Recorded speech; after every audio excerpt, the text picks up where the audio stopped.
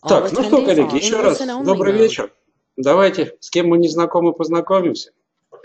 Моя фамилия Губарь, зовут меня Алексей Федорович. Кто я? Я преподаватель учебного центра, занимаюсь поддержкой, ну и фактически разработкой всех тех курсов, которые в той или иной степени принадлежат категории Helpdesk. В частности, курс «Техническое обслуживание и ремонт Helpdesk».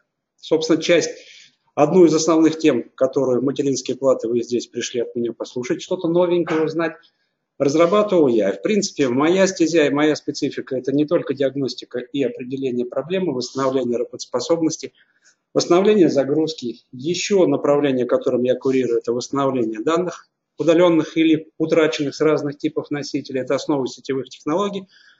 Так что по ходу, конечно, у нас сегодня времени будет ограниченное количество, но по ходу на всякий случай можно задавать вопросы и получать ответы от меня не только по непосредственно той теме, о которой мы будем с вами здесь беседовать.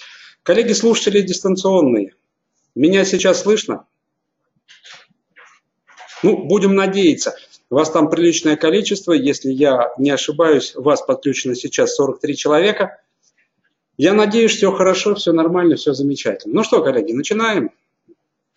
Я предлагаю начать к вопросу разбор характеристик материнской платы и, ну, скажем так, структуры материнской платы немножечко издалека. Для начала мы все пользователи персонального компьютера. Давайте определимся, что такое персональный компьютер.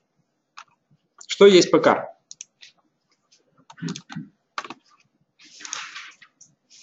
Коллеги, у вас есть какое-нибудь на этот счет предложение? Ну, каждый является пользователем. Ну, с точки зрения конструкции, да, а с точки зрения назначения. Что? С точки зрения логики, это компьютер, который используется в этот момент только одним человеком. Ну, это именно персональный. Персональный. Ну, если акцентировать внимание на персональность, да. А с точки зрения его функциональности, коллеги, у меня немножечко другое обозначение. Компьютер – это совокупность аппаратно-программных средств, предназначенных для обработки данных. То есть для чего создается компьютер? Для того, чтобы переварить, обработать какие-то данные, данные в виде приложений, расчетов и так далее, и предоставить тому пользователю, который является пользователем, владельцем этого ПК, какой-то конкретный результат. То есть с точки зрения составных частей, две составных части. Это некий набор оборудования, некий набор устройств, контроллеры устройства и, коллеги, понимаем, что компьютер сам по себе, вот этот набор оборудования работать никогда не будет. Тогда как организуется работа этого оборудования? Большинство процессов, происходящих внутри ПК, это программно управляемые процессы. Потому и вывод – это железо без программного обеспечения является ничто. Вот, собственно, то, о чем я и хотел спросить и показать. То есть вот этот слайдик, который, собственно, и показывает, что такое персональный компьютер. Да, там множество различных устройств, но если брать самое лаконичное, простое объяснение, это аппаратно, набор аппаратно-программного обеспечения, предназначенного для обработки данных. То есть с точки зрения понимания это все очень просто. Теперь еще один вопрос, коллеги, нам это на, для понимания, опять же, общих процессов. Вот, собственно, общих процессов, происходящих в системе, нужно. Вот, собственно, этот набор оборудования, куда входит процессор, правильно? Оперативная память, дисковая подсистема, то есть основной накопитель, графический адаптер. Сейчас немножечко уточним, чуть-чуть поподробнее, но чуть позже. Так вот, коллеги, вопрос. Этот набор устройств работает напрямую взаимодействие с операционной системой, то есть с программным обеспечением? Нет. Это правильный ответ. Контроллеры, которые... А контроллерами кто управляет? Драйверы не напрямую. Ну, вот смотрите, коллеги, я для понимания этого процесса взаимодействия обычно показываю слушателям, рисуя вот такую картиночку. Предполагаем, что вот это, это есть персональный компьютер. Исходя из того определения, которое мы с вами ввели, это набор аппаратно-программных средств, предназначенных для обработки данных, то есть две составных части. Условно говоря, сверху, сверху я располагаю софт, программное обеспечение. Это может быть операционная система. И набор каких-то устройств, оборудования внизу. Так вот, коллеги, возьмем два разных персональных компьютера по составу устройств, то есть по составу оборудования и по характеристикам этих устройств. Эти компьютеры два разных должны быть полностью идентичными? Нет. А значит, что я показываю обычно слушателям здесь? Вот эта часть, которая граница между оборудованием и всем остальным, она по составу оборудования, то есть еще раз конфигурация разная, значит она показана мною в виде ровной линии быть не может. Почему? Некоторые компьютеры построены по платформе, допустим, используют процессоры AMD, а некоторые процессоры Intel. Где-то есть звуковой контроллер, где-то его нет. Где-то он встроенный, где-то дискретный. Где-то видео встроенный, где-то дискретный. А значит, сколько существует конфигураций, столько и систем с конфигурациями разными упс, существует. А значит, вот это многообразие железа я показываю в виде вот такой ломаной кривой. Ломаная кривая еще раз намекает на то, что по составу оборудования системы должны быть и могут быть разные. И по характеристикам. С другой стороны, коллеги, вы как пользователи, которые хотя бы раз в жизни устанавливали программное обеспечение, устанавливали операционную систему, откуда вы ее брали? Ну, кто-то покупал в магазине, правильно? Кто-то скачивал сайты Microsoft. А потом записывал или на флешку, или на DVD-диск. Мы можем с вами взять подготовленный установочный диск и с этого диска установить операционную систему на компьютер, работающий под управлением процессора Intel, и с этого же диска установить программное обеспечение на компьютер, работающих под управлением компьютера AMD. Можем? Да, Можем. А значит, изначально то, что нам дает кто? Производитель программного обеспечения. То есть изначально Э, мы скачиваем или покупаем в магазине какой-то универсальный набор программ, который будет подходить для любой аппаратной конфигурации. Согласны? А вот теперь возникает вопрос. Если это универсальный набор программ, значит это вот такая ровная черта. Как вот это программное обеспечение заставить работать с многообразием железа? Через посредника. А посредника? Нет, коллеги, драйверы – это часть программного обеспечения, часть софта. Чипсет – это оборудование. Совершенно вот я слышу уже неоднократную подсказку, но кто у меня на курсах был, тот на этот а, ответ знает. Коллеги, вот здесь есть некий такой посредник. Наверняка многие об этом программном обеспечении слышали, знали.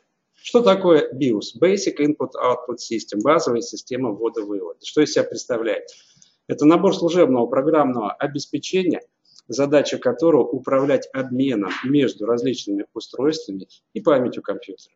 То есть без этого программного обеспечения ни одно устройство, ни один контроллер, ни один дисковод, ни один процессор жить не будут. Именно это ПО можно, языком пользователя, если говорить, именно это ПО вселяет, вживляет жизнь в оборудование. И именно оно делает это оборудование понятным для драйверов операционной системы.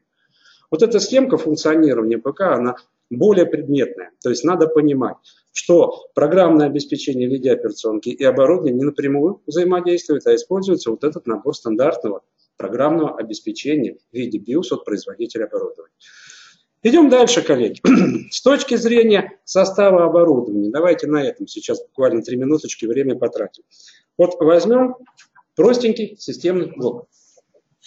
С точки зрения состава оборудования перечислим основные компоненты, которые в обязательном порядке должны присутствовать в системном блоке, лишив которым мы фактически не получаем полностью функциональный персональный компьютер. Вот с этой точки зрения, среди основных компонентов что мы должны выделить? Естественно, центральный процессор. Его логика работы какая? Что он делает в вашей системе? То есть фактически это исполнитель. Его задача исполнять программный код. А если быть точнее, любое приложение, любая программа, как встроенная в операционную систему, так и прикладная программа пользователя, это какой-то набор команд, последовательность команд. Вот задача процессора понимать эти команды и выполнять действия, зашифрованные в этих командах. Логика понятна? Понятно. Ну, как выглядит процессор, на слайдике это видно, но большинство из вас наверняка скрывали крышку системного блока, производили разборку, кто-то сборку, естественно, может подтвердить вживую, как выглядит. Коллеги, еще один вопрос. Те программки, с которыми работает процессор, где они должны находиться? Почему именно в кэше? Сразу в кэше. Не обязательно. В памяти. То есть следующий по степени важности компонент – это оперативная память. Назначение. Устройство временного хранения данных и используется оперативная память для временного хранения программ и данных, с которыми работает процессор. То есть помните, коллеги, опять же, логика работы ПК следующая, логика работы процессора. Процессор может выполнить код, то выполнить приложение только в том случае, если приложение загружено в память. Если приложение в виде кода хранится на диске, в виде файла на диске, оно должно быть сначала загружено в память, в частности, непосредственно в оперативную память, и только после этого это приложение начинает выполняться. То есть второй по степени важности компонент любого ПК – это оперативная память. Собственно, мы пользователи. То, что делается внутри системы, делается для нас и ради нас, правильно? А как мы, пользователи, взаимодействуем с этим оборудованием, системой. За счет чего? За счет интерфейса пользователя. Он может быть графический, он может в виде командной строки быть. А где формируется этот графический интерфейс? Кто его формирует? Кто картинку на экран монитора? Графический адаптер. По степени важности, на мой взгляд, один из самых важных компонентов любой системы. И то, что графические адаптеры бывают дискретные, что такое дискретный в виде отдельной платы, отдельного модуля, подключаемый через соответствующий слот шины, материнской платы, в частности через PCI Express X16, а может быть интегрированный, встроенный в процессор. Сейчас вопрос не в этом. Но в любом случае, в законченной системе, в функциональной системе графический адаптер должен быть в обязательном порядке. Так же, как должна быть оперативная память, так и должен быть процессор. Следующий по степени важности компонент – дисковая подсистема. Устройство долговременного хранения данных. Зачем используется? Для долговременного хранения данных. Поконкретнее. Ну, во-первых, в выключенном состоянии.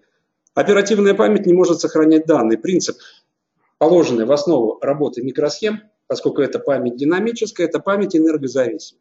А следовательно, оперативная память может хранить данные только когда включено питание. При выключении питания все, что хранилось в оперативной памяти, все сотрется. А операционная система – это много программ, и чтобы она работала, эти программки должны быть в памяти. А значит, то, что было загружено в предыдущий сеанс работы, при выключении питания перестает в памяти существовать. И в следующий раз эти программы операционной системы надо заново загрузить. Значит, их надо где-то хранить. Вот для этих целей используется основной накопитель. Вот здесь на этом слайдике я привел пример два типа накопителя. Большего размера это так называемый магнитный накопитель. И сверху пирамидка лежит более современный накопитель, который многие из вас опять же знают, многие используют, это SSD. Следующий компонент – материнская плата. Ну а теперь вопрос, коллеги, если этот слайдик закроем. Ну, я потом его открою, не переживайте. Что есть материнская плата?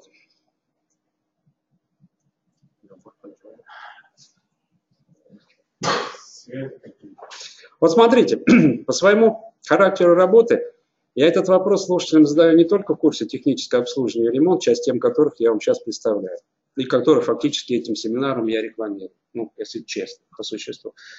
Этот же вопрос я даю, задаю любым слушателям любых компьютерных курсов, будь это настройка, будь это сетевые технологии. С точки зрения взаимодействия внутри компьютера, то материнская плата – это интерфейс между составными составляющими компьютера. Между процессором, оперативной памятью, системой. Я понял вашу. Кроме этого, на ней есть дополнительные устройства. Понял. Ну, я принимаю ваше объяснение, но теперь, коллеги, чтобы всем было понятно, ну, вот смотрите, из оборудования, которое есть внутри системного блока, вот на этом слайдике я показал жесткий диск. Куда он подключается? К одному из разъемов материнской платы, правильно? Ну, или дискретного SATA контроля. SATA – это наименование интерфейса, а интерфейс – это способ взаимодействия. То есть под интерфейсом понимает способ взаимодействия. Вот есть такой интерфейс SATA. Используется он для подключения к материнской плате чего? Накопителей магнитных, накопителей твердотельных, DVD-приводов, ну и так далее. Вопрос, коллеги. Может ли жесткий диск работать сам по себе? Хорошо, по-другому вопрос. Вот на этом слайде я вам показал оперативную память. Может ли оперативка работать сама по себе? Нет. Тогда объясните мне с точки зрения схемотехники, как оборудование работает. Нет, не надо так глубоко. Не надо так глубоко, коллеги. Не надо, я не прошу так глубоко. Я прошу только еще об одном понимать, что в вашем компьютере есть устройства, которые являются исполнителями. Жесткий диск – это исполнитель. Его работой управляет электронная схема под названием контроль. То есть, другими словами, вот тот списочек оборудования, нижняя часть персонального компьютера, который мы озаглавили как устройство, надо добавить сюда следующее понимание.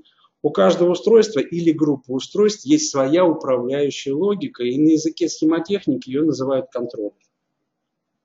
То есть есть на материнской плате разъемчики SATA, значит на материнской плате есть SATA контроллер. Если есть на материнской плате слоты расширения, куда оперативная память вставляется, Сама по себе она не работает, значит где-то там должен быть контроллер, который управляет этим устройством.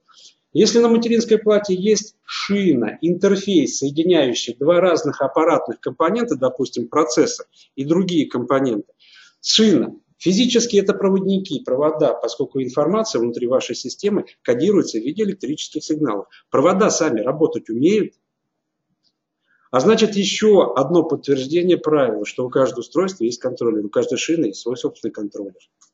Так вот, коллеги, с этой точки зрения, что из себя представляет материнская плата? Ответ очевидный. Это набор контроллеров, управляющих логики, задача которых управлять чем? Оборудованием, встроенным в материнскую плату, подключаемым к ней и организовывать взаимодействие между этими устройствами. Вот это, в моем представлении, более правильное понимание, что есть материнская плата. То есть это множество различных контролей. Но потом еще motherboard, это все-таки, наверное, сленг, а вообще-то, как если по-грамотному, системная. А, разница в терминологии, смотрите, вот настоящий момент, ну, как правило, практикуется название motherboard, а вот системная плата – это отголоски немножечко от более старых времен. Я по своему опыту скажу, с персональными, я не вешаю себя, не, ну, то есть не хочу в ваших глазах повесить кучу медалей, показать свою крутость, показывая свой, опыт. Но с персональными компьютерами мне пришлось работать, и работаю я начиная с 88 -го года прошлого столетия. Да, когда-то могли называть motherboard, могли называть системная плата, иногда главная плата даже существовала менее распространенная. Но в настоящий момент вот эти устаревшие названия, они немножечко ушли. И, как правило, motherboard, он и есть motherboard материнская плата. То есть, да, это главная плата. Но еще раз, коллеги, разница не в терминологии, а в разнице понимания, что это устройство представляет. Что такое материнская плата? Это множество различных контроллеров, управляющих оборудованием, встроенным материнскую плату, подключаемым к ней и организующих взаимодействие между этими всеми устройствами. Логика понятна, коллеги? Ну, иногда мозгами называют процессор память. Можно это к материнке отнести, но я думаю, что это все-таки ближе к... То есть это вспомогательное функционирование, ну то есть это обслуживание всего. Вот, вот это более подходит. Ну а вот с этой точки зрения давайте, коллеги, на слайдик посмотрим и посмотрим, что из себя представляет материнская плата. Ну вот, собственно, определение, которое я дал. Что мы видим на материнской плате? Основные компоненты. Коллеги, слайдик видный? Ну, то есть видно? Что мы видим? Во-первых, центральная часть занята разъемом, куда устанавливается что?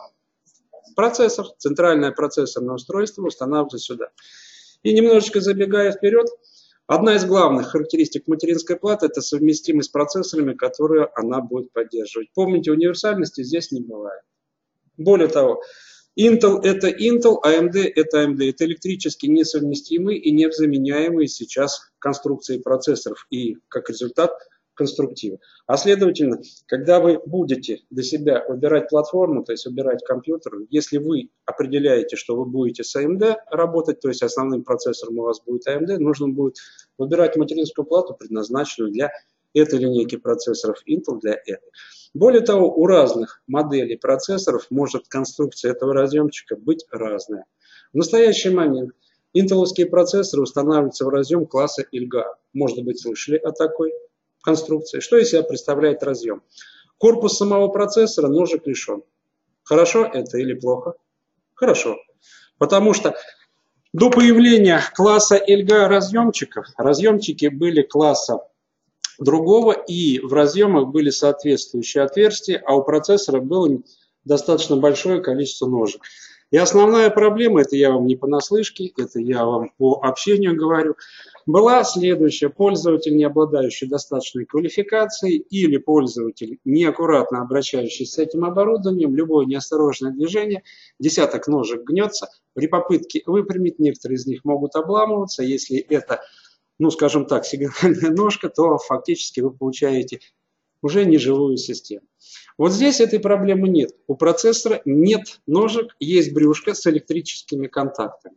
Зато проблема перекочевала в этот разъемчик. Позвольте, я вам просто сразу же комментирую характеристики, немножечко затрону узкие стороны этого девайса. Узкой стороной здесь будет следующее. В режиме покупки, в режиме транспортировки в разъем для процессора установлена пластиковая заглушка. Она препятствует повреждению вот этих сотен очень тонких, легко деформирующихся контактов, которые находятся в самом сокете, в самом разъеме. А следовательно, если эту заглушку снять при сборке раньше времени, а потом при сборке совершенно, ну, случайно уроднить, иногда даже винтика просто достаточно, часть контактов легко деформируется, что мы получаем после этого? Ну, это уже как повезет. Так что слабое место оно есть. Ну а если сейчас закрыть глаза на слабое место, помните, что совместимость с процессорами, как результат разные типы разъемчиков, это основная характеристика материнской платы. Идем дальше. Это так называемый слот расширения оперативной памяти. Вот здесь на материнской плате их два разъемчика, это далеко не предел. На некоторых платах чаще всего бывает 4, а на некоторых платах может быть ну, бывают и 6, а бывают и 8, на самом деле бывает и 16, в зависимости от назначения материнской платы. Помните, коллеги, что они бывают для разных аппаратных конфигураций. Есть такое понятие, как компьютер рабочая станция, есть такое понятие, как сервер. И материнские платы, естественно, как правило, разные. Так вот, берете серверную материнскую плату, там слотов под оперативную память как минимум 8, как максимум, может быть, и 16, быть не могут. Идем дальше, коллеги. Вот это слот расширения PCI-Express X16. Сюда подключается что? Догадываемся? Графический адаптер, совершенно очевидно, все правильно. Идем дальше. Вот под этим радиатором оранжевого цвета предмет нашей будущей беседы. Это основная логика материнской платы, основная логика под названием чипсет. Слышали о таком? Что есть чипсет, сейчас поговорим. Разъем для подключения питания основной – Разъем для подключения питания дополнительный. Через основной разъем, он в настоящий момент имеет 24 пин, 24 контакта. Со стороны блока питания заводятся все основные напряжения. Это напряжение плюс 5 вольт, плюс 12 вольт, плюс целых 3 вольт. Дополнительный разъем, через него дополнительно на материнскую плату из блока питания заводится 12 вольт. Зачем? Разве процессоры питаются напряжением 12 вольт? А теперь смотрите, коллеги. Вот этот компонент материнской платы кому-нибудь знаком? Это так называемый стабилизатор питания процессора. Но если хотите, ну, на языке пользователя блок питания встроенный в материнскую плату. Его задача на входе взять 12 вольт, которые как стандартное напряжение подаются из блока питания, и сформировать 1 вольт с небольшим в зависимости от конкретно нужного питания, конкретно нужному процессору. Дело в том, что в разных сериях процессоров напряжение питания плюс-минус бывает разное. Стабилизатор питания автоматически подстраивается и автоматически начинает формировать то напряжение, которое процессору нужно в качестве входного питающего напряжения. То есть называется это стабилизатор питания. Идем дальше. Вот эти коротенькие разъемчики, это тоже слоты расширения под названием тоже PCI-Express. Если вот этот длинный PCI-Express X16 предназначен для чего? Для дискретных графических адаптеров, то вот эти коротенькие для чего? Это любая медленная периферия. Это дискретный сетевой контроллер, дискретный звуковой контроллер. То, что раньше когда-то подключалось через старую PCI на этой материнской плате, она уже не поддерживается. Сейчас подключается в большинстве случаев через PCI-Express X1. То есть это медленная периферия. Дальше разъемы, которые с торцевой стороны материнской платы расположены. Вот здесь один шестиконтактный разъемчик, наполовину сиреневый, наполовину салатовый. Это так называемый PS пополам. То, что он наполовину сиреневый, наполовину салатовый, говорит о его универсальности. Вообще сиреневый – это клавиатура, салатовый – это мышка. Здесь мы можем использовать один разъем для или клавиатуры, или мышки. На некоторых материнских платах их может быть два, а на некоторых материнских платах их может быть уже и не быть, потому что современные мышки и клавиатуры в достаточно частом случае подключаются уже не через PS пополам, а через USB. Совершенно очевидно, верно. Идем далее. 24-контактный DVI. Нет, коллеги. DVI, Digital Video Interface, цифровой видеовыход, коллеги. Цифровой говорит о чем? Что видеосигнал подается не в аналоговом стандарте, а в виде последовательности ноликов, единичек, цифр. Разъемчик, который используется для подключения современных мониторов. У современных мониторов, у современных телевизоров есть соответствующий разъем, и соответствующим кабелем он подается. То есть подключается. Наличие этого разъема на самой материнской плате является обязательным? Нет. В каких случаях он есть? Да. В том случае, если графическая система встроена в процессор. Так, например, в i7 уже сейчас появились процессоры i3, в которых встроена графическая система в сам процессор. В этом случае память берется часть оперативной памяти, и процессор обрабатывает в том числе графические сигналы. Полностью с вами, полностью с вами согласен. Коллеги, в большинстве случаев на современных материнских плат подобный разъем может присутствовать, а вот работает он, не работает, зависит от того, есть ли встроенный графический адаптер или интегрированный в процессор, который покупаете. Чисто теоретически он не является обязательным. То есть если посмотреть спецификацию от производителя процессора, в дешевых случаях внутрь процессора графический а контроллер, графический процессор может не встраиваться, а разъем присутствует на материнке. То есть его никуда не девают.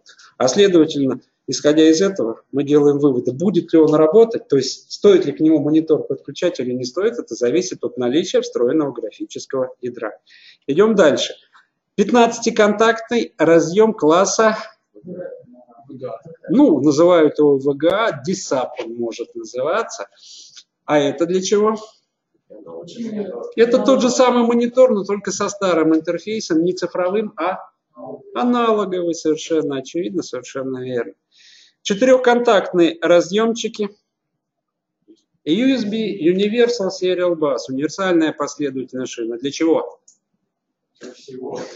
Практически любое периферийное устройство, включая и основные мышку, ту же самую клавиатуру, мы подключаем, можем подключать через USB. RG45 говорит о том, что в эту материнскую плату есть встроенный сетевой контроллер для подключения компьютера к локальной сети. Согласен. Ну и, наконец, мини-джеки. Здесь их три, может быть и больше. Это аудио. То есть розовый мы используем для подключения монитора, салатовый для колонок, а голубенький, а это так называемый линейный вход для записи звукового сигнала в цифровом формате, чтобы этим занималась, ну, то есть использовать компьютер как магнитофон, условно говоря. Да, совершенно верно. Ну, то есть, коллеги, это очевидные и простые вещи. Это была затравка. Продолжим список оборудования. Кроме материнской платы, нам необходимо для полноты ощущения, то есть чтобы компьютер заработал, использовать что? Блок питания. Что такое блок питания? Это устройство формирования вторичных напряжений. Первичным будет входное напряжение, это электрический ток переменного типа 220 на входе, на выходе. На выходе я немного ранее уже озвучил. Тип электрического тока постоянный, и современные блоки питания форм-фактора ETX обязаны на выходе сформировать плюс 5, плюс 12, плюс 3,3 вольт. Если посмотреть спецификацию на современный блок питания, кроме, кроме положительных напряжений плюс 5 и плюс 12, современный блок питания еще и отрицательное напряжение формирует минус 5 вольт и минус 12 вольт. Зачем?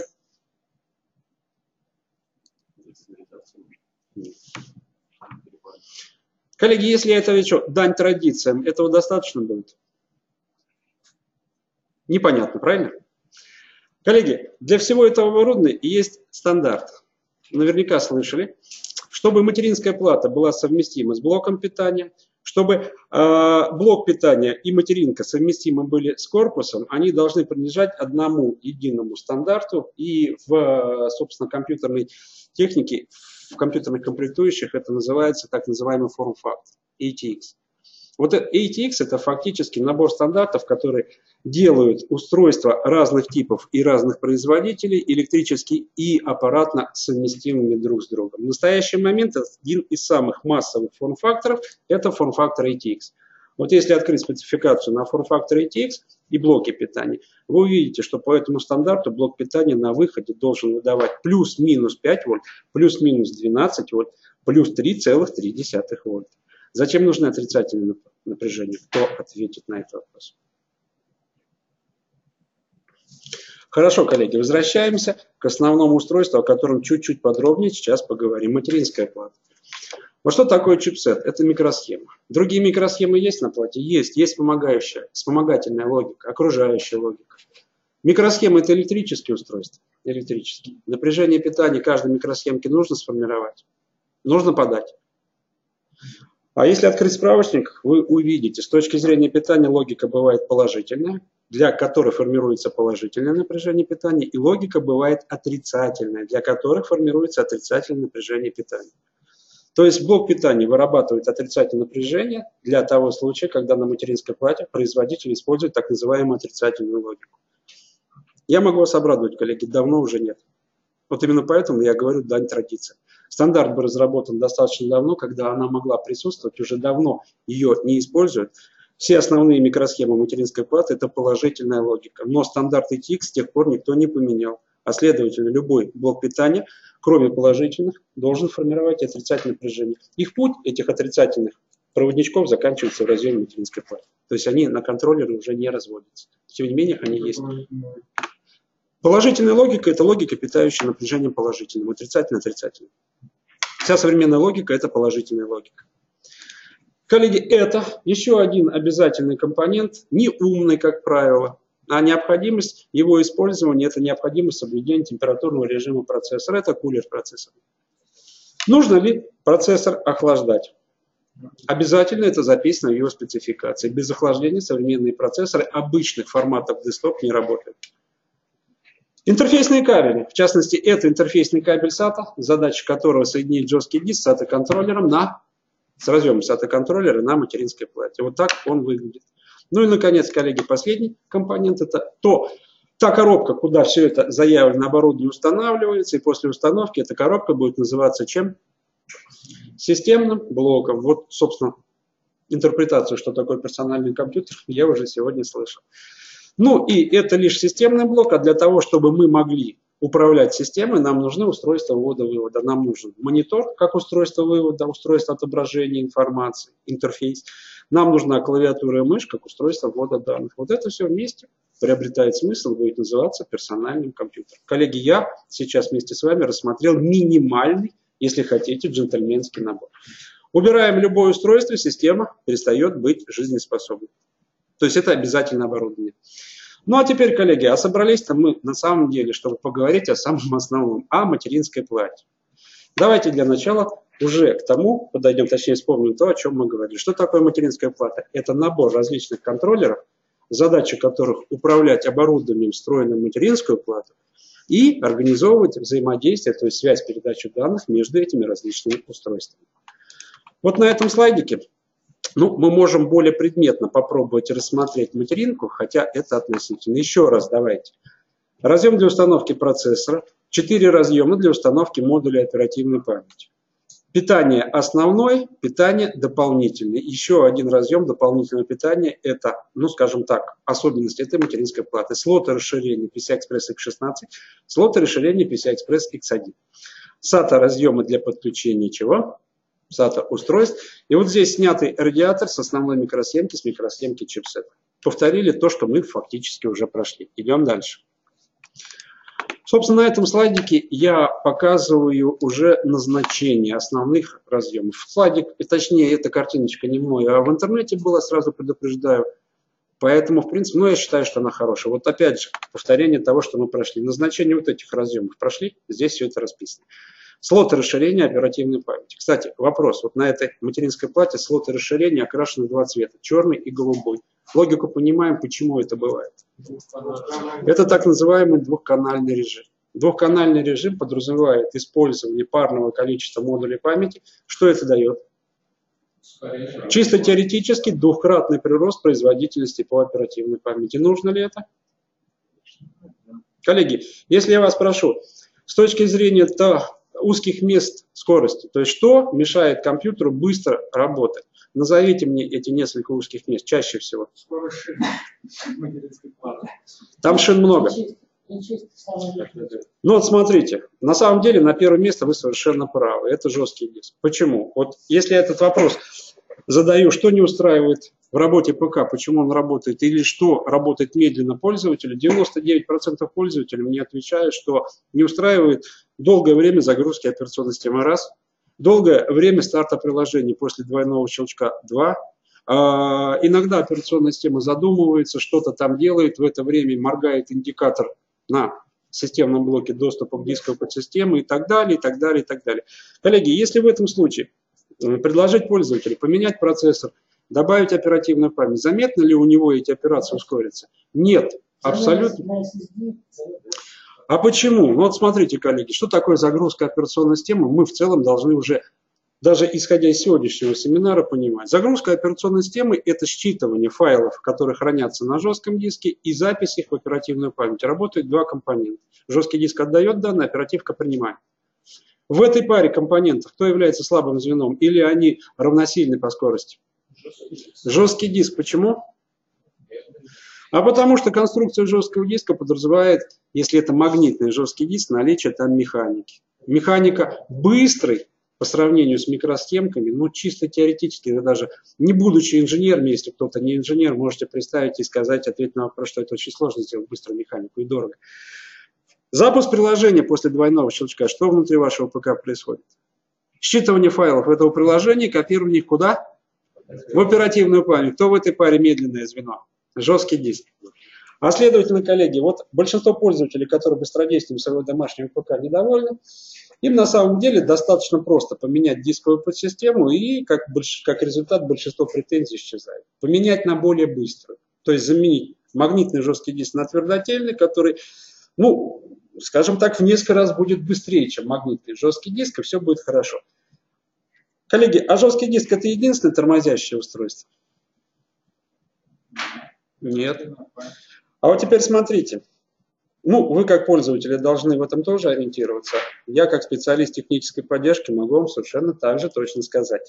Есть еще несколько узких мест, и в частности одно из узких мест – это оперативная память. Не во всех приложениях будет показывать свою медлительность, а в каких? Есть такое понятие ресурсоемкие приложения, то есть приложения, которые требуют от оборудования, в частности от процессора, от оперативной, от графики, максимальный ресурс. Что это за программное обеспечение? Пример. Графический, обязательно графический.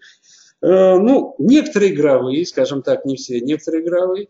Это приложения, где монтируются, ну, это опять же графические, это кады, архикады, автокады и так далее. Это приложения для конвертации видео, звука и так далее. Вот эти приложения относятся к категории ресурсоемки. Вот у них отдельные требования практически по компонентам и в первую очередь, естественно, по оперативной памяти. Так вот, для таких приложений использование двухканального режима может решить эту проблему. Проблему недостаточной производительности оперативки. Ну, да, конечно. Чтобы работало двухканально, чтобы обе лампы были Ну, во-первых, требования к двух... Требования... Я отвечу сейчас, секундочку, коллеги. Требования к двухканальному режиму если не хотим лишних проблем, а проблемы могут какие? Есть такое понятие несовместимость между планками памяти, работающим в двухканальном режиме. Так вот, если не хотим лишних проблем, модули памяти желательно для двухканального режима покупать не по отдельности, хотя это не обязательно. Но лучше подстраховаться и купить в наборе. То есть на сайтах продавцов памяти есть наборы, так называемые киты. Кит набор. Два модуля памяти в одной коробке. Что в этом случае гарантирует производитель? Их идентичность. Дело в том, что они идентичны должны быть не только по объему и частоте, они должны быть идентичны еще по характеристике, которая называется тайминги. Ну так вот, коллеги, для двухканального режима это крайне важно. Так вот, надо купить два модуля памяти идентичных, и еще их правильно установить. Вот если внимательно посмотреть на этот слайдик, вот эти два разъема, они как бы одной группкой прижаты друг к другу. А вот эти два разъема, Следующая пара. Они на небольшом расстоянии друг от друга. О чем это говорит? Это говорит и намекает на то, что они, эти группки разъемов, 2 и 2, принадлежат разным каналам.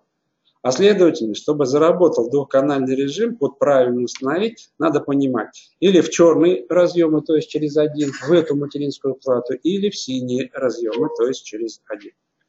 А в противном случае они окажутся в одноканальном режиме, объем увеличится, а производительность нет. То есть наличие разных разъемчиков по цвету – это признак поддержки двухканального режима.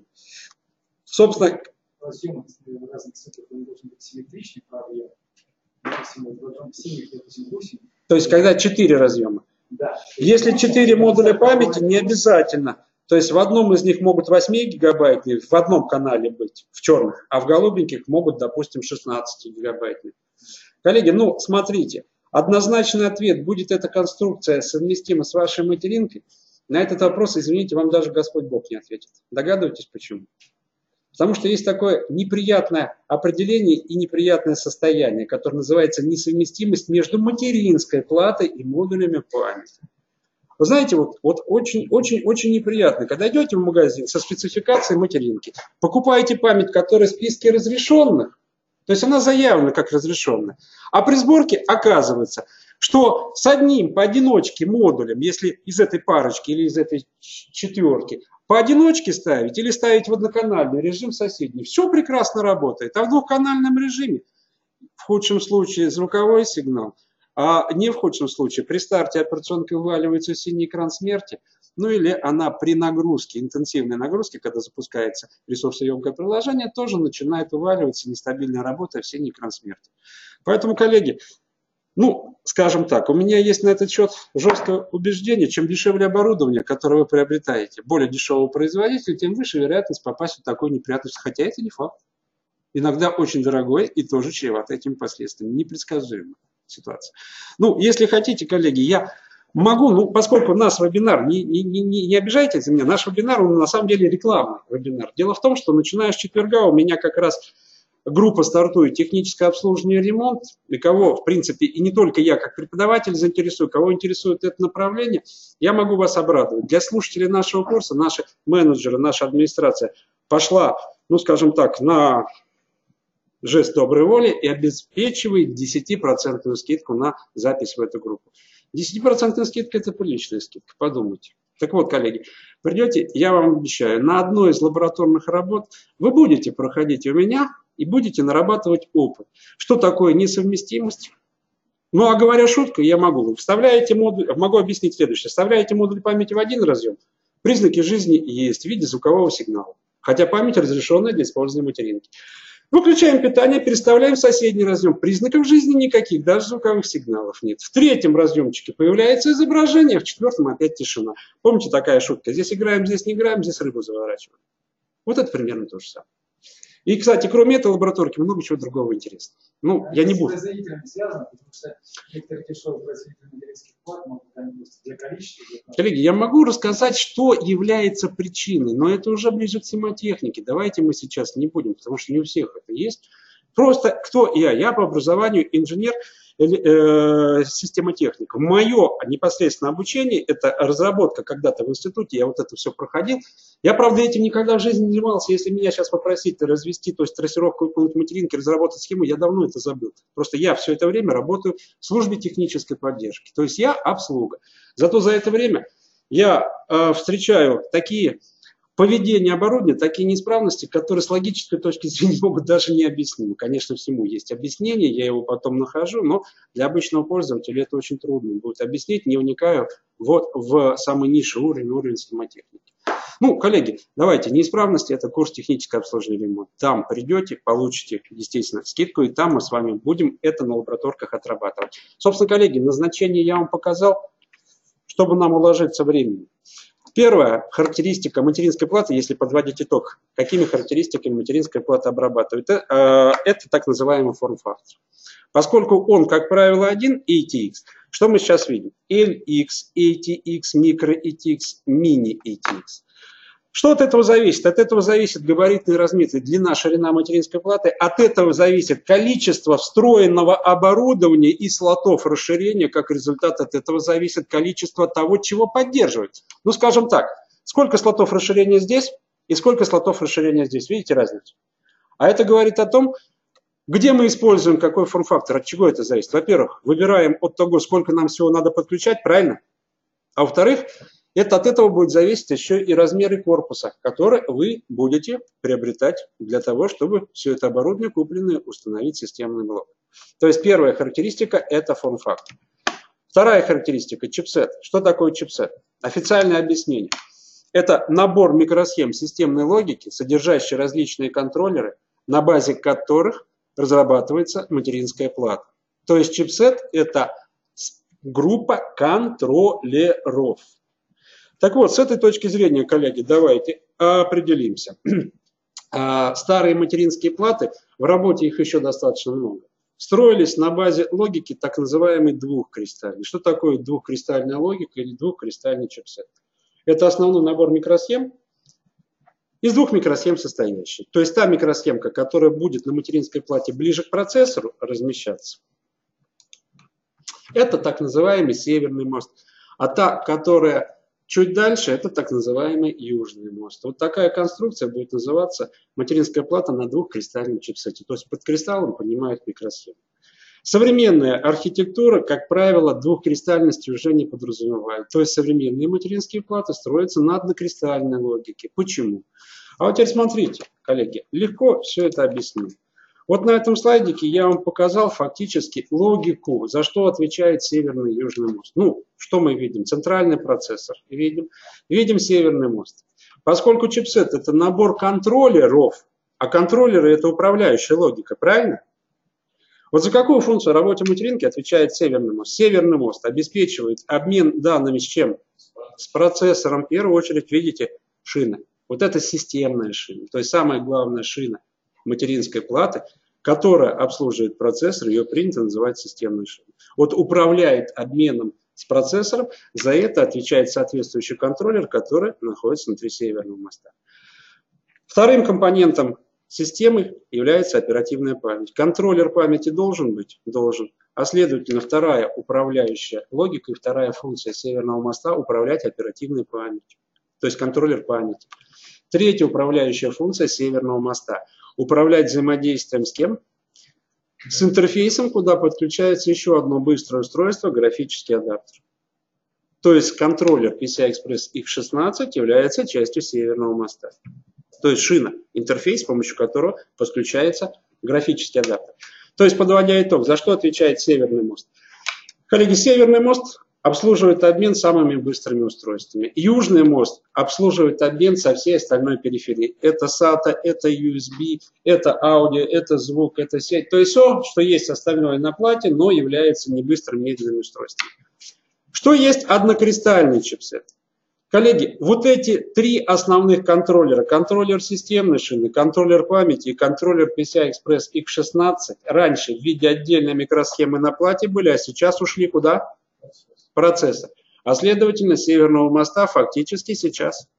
И то, что на плате в виде одной микросхемки чипсета остается, это поддержка USB, то есть USB-контроллер, это LAN-контроллер, это аудиоконтроллер, это SATA-контроллер и так далее, и так далее, и так далее. Именно поэтому сейчас логика однокристальная. Ну, коллеги, основной вот на этом слайдике я не знаю, насколько она нужна информация, и она еще, ко всему прочему, может быть уже немножечко устаревшая. Ну, я привел просто за взятую страничку из Википедии некоторый набор, то есть некоторые модификации чипсета, ну и показал характеристики, то есть за что и чем они отличаются. Как мы видим, что если вот в списочке взять X299, достаточно популярная и достаточно свежая логика на сегодняшний момент, что она поддерживает? Поддерживает э, 8 портов SATA, порты SATA версии 3.0, это 6 гигабит или 600 мегабайт. Ну, если честно, вот для меня, как для инженера электроника, возможности, вот, допустим, этого и этого набора, они, ну, скажем так, почти одинаковые. И могу вот со своей точки зрения сказать, стоит ли при покупке материнской платы, если нет других причин, стремиться покупать материнку на самом последнем наборе системной логики. Ведь такая материнская плата будет очень дорогой. А если вы посмотрите по характеристикам материнку на самом последнем наборе и на предыдущем, если вы обнаружите, что по характеристикам это примерно одинаковая логика, ну тогда это вопрос на том, где можно сэкономить при выборе материнской платы. Правильно? Идем дальше. Собственно, совместимость с процессорами – это еще одна характеристика, о чем я говорил. Разные типы сокетов, разные серии процессоров поддерживают. Это тоже одна из самых главных характеристик материнской платы. Ну, здесь перечисляются. Еще одна характеристика – это совместимость с разными типами памяти, то есть разными модулями DIM. По разъемчикам они тоже бывают разные. Так. Ну и с моей точки зрения, еще одной главной характеристикой материнской платы является версия PCI-Express. Основной интерфейс в виде слотов расширений и встроенных в материнскую плату шин, э, с помощью которых основные компоненты соединяются. PCI-Express X16 для графического, уже неоднократно говорили, PCI-Express X1 для медленной периферии. Учтите, что они бывают трех поколений. Версия первая, версия вторая, версия третья. У каждой следующей версии пропускная способность практически в два раза выше, чем в предыдущей версии. Актуально для чего? Характеристика. Для выбора графического адаптера, в первую очередь, именно там смотрим совместимость, согласованность и так далее. Аналогично еще одна характеристика. Поддержка версии SATA. SATA тоже трех версий. Первая ревизия 150 мегабайт за секунду с пропускной способностью. Вторая 300 мегабайт за секунду, третье 600 мегабайт за секунду. Где актуально, коллеги? Для магнитного диска актуально? Ну, скажем так, старый магнитный диск, новый магнитный диск, а? А почему? Догадываетесь? А потому что реальная производительность магнитного диска в большинстве случаев не превышает порога 160 мегабайт за секунду. А это значит, что даже вторая версия со скоростью 300 мегабайт спокойненько даст нужную жесткому диску скорость. Но жесткий диск магнитный, мы об этом говорили, тормоз. А твердотельный, а вот когда твердотельный мы покупаем, вот эту характеристику тоже надо учитывать. Простой пример. Твердотельный диск, типовая скорость на сегодняшний день считывания данных со скоростью 550 мегабайт за секунду. На материнке SATA второй версии. Что получили? 300 мегабайт, и все преимущества этого быстрого SSD сведены на нет. Не используем возможности. Надо учитывать, обязательно надо учитывать. Поддержка RAID массива, с моей точки зрения, не очень актуальна для пользователя, но тем не менее, как характеристика. Что такое RAID? Избыточный массив независимых дисков, а если быть точнее – это логический массив, составленный из нескольких физических устройств. Вот на курсе ТОР мы это проходим. Более того, есть лабораторная работа для оптимизации, для настройки. Опять же, в двух словах. RAID 0 или так называемый страйпинг, чередование. Подключаете два жестких диска, система воспринимается как один накопитель, и сам SATA-контроллер в этом случае производит распараллеливание данных, которые пишутся на диск. То есть файл делится на блоки, часть блоков на один диск, часть на другой. Причем это делается одновременно вместе. А следовательно, основное достоинство ритм-массива в чем? Практически удваиваем производительность. И объем удваивается, да. Почему? Объем. там формула. Коллеги, давайте не будем сейчас словам, там есть формула, у меня нет времени сейчас это озвучивать. Коллеги, ну не забывайте, рекламка есть реклама. Рейд 1 или mirror, mirroring, зеркальный рейд. Два диска тоже как один накопитель. Здесь никакого страйпинга не происходит. Данные пишутся как на первый, так и второй накопитель. В чем преимущество? Один жесткий диск выходит из строя, ваша операционка даже не просит перезагрузки и тем более не вываливается в синий экран смерти. Более того, выполнили диагностику, определили диск умер, подключили новый диск, перемонтировали, все хорошо. При следующей загрузке операционной системы она говорит, надежность восстановила, хотите, я выполню синхронизацию данных, то есть перекопирую с одного на другой. То есть это функция RAID самовосстановлением, надежность увеличивается. Коллеги, есть RAID 5, есть RAID 10, есть RAID 50, есть RAID 30, есть RAID 0 плюс 1, есть RAID 1 плюс 0.